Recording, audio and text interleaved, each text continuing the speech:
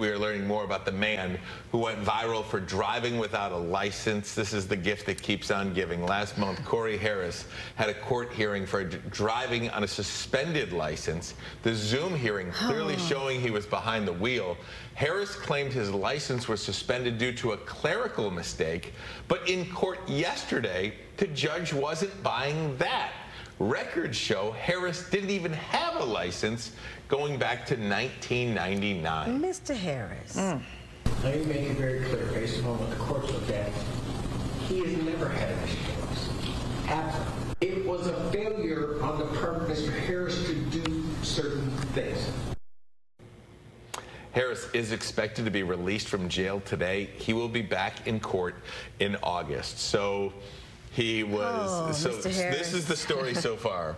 Driving on a suspended license Mm-hmm. that he was going to court, court for. Then there was a clerical mm, error as the reason why he was uh, still in the system. To he had no license for 20 Mm-hmm. Years, for 25 years. I, have seen him uh, speaking. I've seen social media clips of him. Uh, sir, have you ever had a Michigan license? Uh, I don't. Mm, I don't. Did you have a license, a driving license? Uh, I know I had a permit. Like when you were 15? Sir, what do you mean? The world rallied behind this guy. There were memes, paintings. I don't know if they rallied Here's or... well, I say rally because everyone was saying use this. This is embarrassing because we felt for him.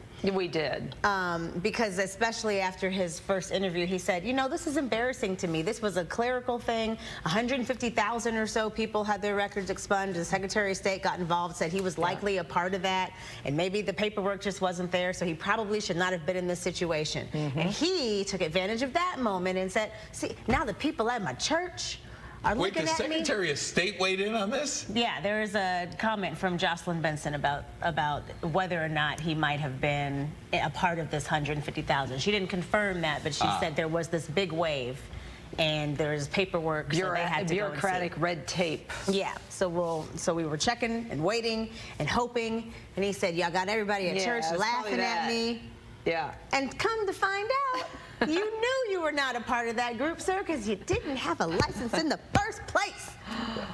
Oh, it's real unfortunate. Uh, it's, uh, I guess it's because of these uh, Zoom court hearings that provides us with all this video of him driving. He could have and turned the camera off. also, why are you driving when you're showing up to your court appearance? Charlie's going to have more on this coming up at Yes. the 10 o'clock hour for the verdict. Hold on, Charlie will Judge. Let me out. pull into the parking lot. Oh, and a real bad angle too. Just not Bad great. angle. Mm. Always go up. Mm-hmm. Always go up, right? Yeah.